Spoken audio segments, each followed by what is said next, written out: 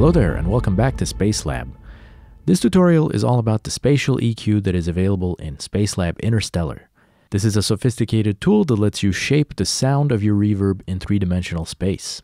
This video is part of a larger ongoing series about Spacelab and 3D audio production, so if you haven't done so already, please subscribe and hit that bell icon so you can stay up to date with the latest news, tips, and tricks. On the left side of the screen, there are sliders for each of the eight available directions. Six of these sliders are on the horizontal plane, plus top and bottom. To the right, there's a big All slider that adjusts all directions simultaneously. Notice that the All slider maintains the relative differences between the other sliders.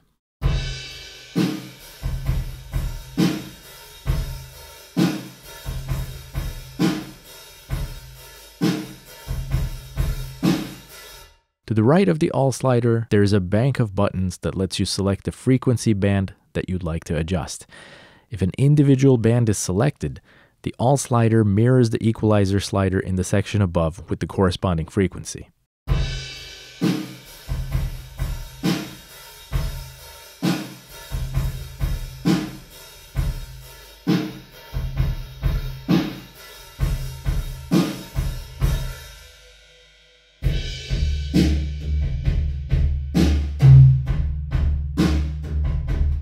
If all bands is selected, then the bands are adjusted simultaneously while maintaining the relative differences between the bands for each directional slider.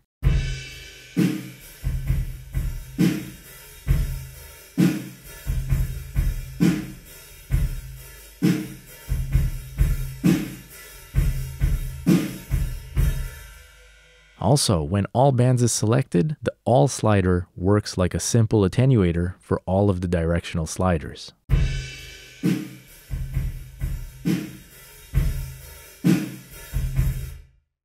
If overwrite is switched on and a single band is selected, the all slider will overwrite the values for all directional sliders for the selected band.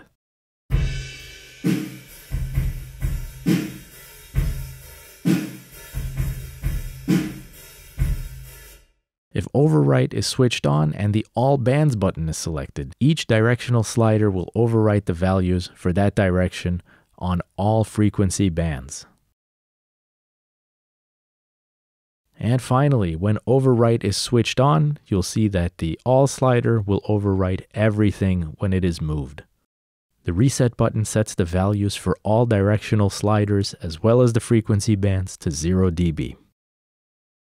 When automating spatial EQ, you can always automate all of the directional sliders for one frequency band in an automation lane group. If you're not sure about how automation is handled in Spacelab, please have a look at our automation tutorial first before continuing here. There's a link in the description. Alt-clicking a frequency selection button creates the automation lane group for that band. The lane group contains eight lanes, one for each of the directional sliders. In the host, you'll see that the eight direction sliders for the frequency band are available for automation. Let's switch on latch mode Start playback, and then make some changes in Spacelab to record those automation movements.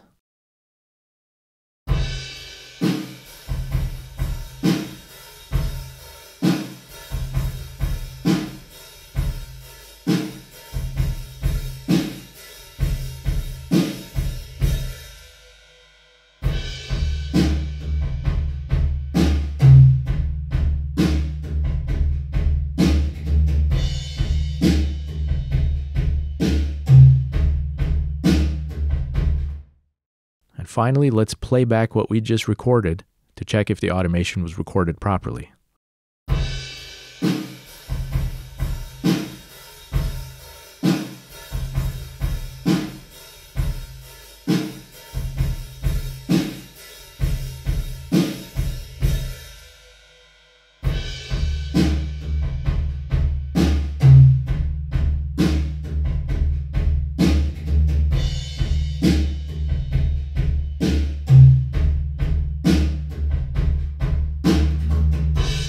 If you want to automate directions instead of frequency bands, you'll need to create nine lane groups, one for each band, and then use the directional slider in all mode to write automation to the host.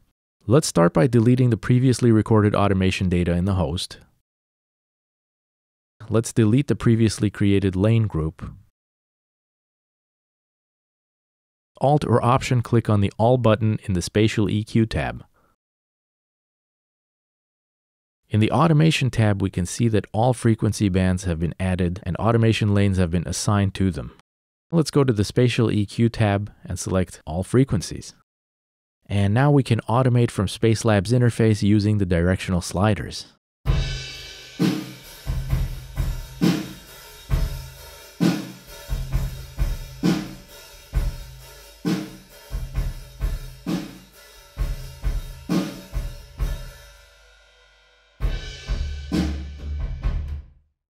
And finally, let's check if the automation was recorded properly. If we switch through the different bands, we'll see that the changes affect all of them, which is what we want.